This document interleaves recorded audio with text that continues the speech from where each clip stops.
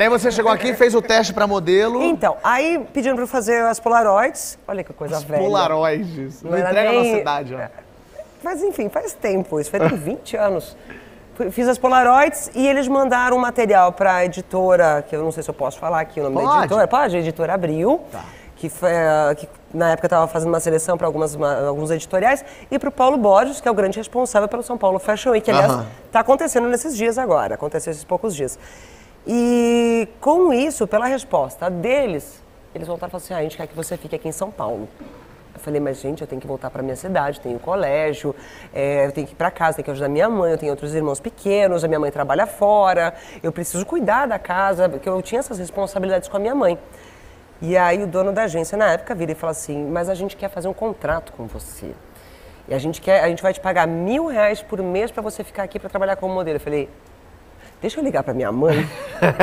E- porque a minha vontade na época, eu não sabia, eu não queria ser modelo, não tinha nenhuma expectativa disso. Não me achava uma pessoa bonita, nem jeito para isso. Detestava tirar foto, achava muito, tinha vergonha disso. Porém, o fato de poder ter uma renda e poder ajudar na minha casa, eu falei, calma, É eu isso. preciso parar e pensar. Mil reais era tipo.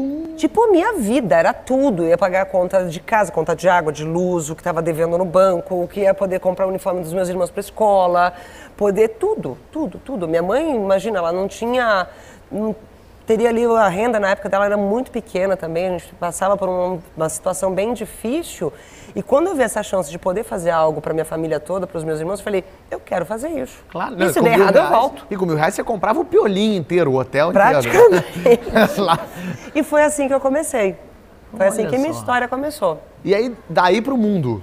Dali foi pro mundo. Eu fiquei nessa agência durante mais ou menos uns seis meses. Fui depois para Mega Modas, onde eu fiquei boa parte da minha carreira. Quem me ajudou muito, o Eli, que é o dono da agência, o Gustavo, Marcos Pantera. Quem me levou para lá foi meu marido, na época que eu conheci ele na balada. Mas que não era marido ainda. Não, não era marido, era amigo. Sei, Amigo, amigo, amigo. que olha e fala, hum, pegaria. Eu- nossa, eu super pegaria. Super Tanto pegaria. é que pegou. Pois é, fui eu que peguei. Tu que foi nele? Sim. Mas por quê? Porque- modelo intimida muito, né? Na verdade, não, porque Ana o cara Hickman? chovia na na- na- no terreno dele muito. Sei. Muito. A mulherada caia matando em cima. Eu falei, não tenho chance. Ou vou ter atitude, ou não vai rolar. E tua atitude foi o quê? Grudei Amigão? na parede e dei um beijo.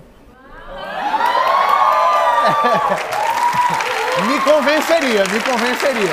Falei, se isso colar, tá tudo certo. Colou, colou. Colou, então. Colou muito, né? É quase 20 anos de casamento.